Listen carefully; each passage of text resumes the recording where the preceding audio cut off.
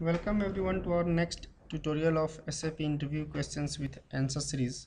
Here again in this tutorial we will cover some of the selected SAP interview questions with their answer one by one.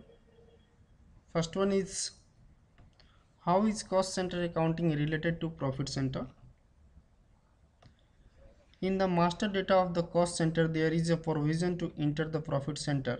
This way all cost which flow to the cost center are also captured in the profit center. Next. What is a cost element group? A cost element group is nothing but a group of cost elements which help one to track and control cost more effectively. We can make as many number of cost element groups as you feel necessary by combining various of logical cost elements.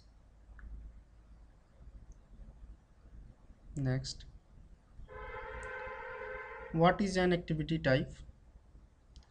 Activity types classify the activities produced in the cost center. Example of activity type could be machine, labor, utilities, etc.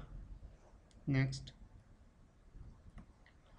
Where is the configuration setting to be done for carrying out carrying out revaluation of planned activity prices in various cost objects.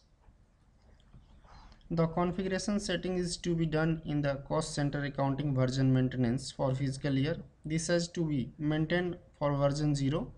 You need to select revalue option either using own business transaction or original business transaction.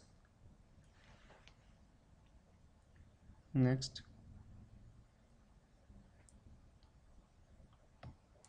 How does SAP go about costing a product having multiple bill of material within it? SAP first costs the lowest level product, arrives at the cost center and then goes and the cost the next highest level and finally arrives at the cost of the final product. Thank you for watching this tutorial. Please subscribe our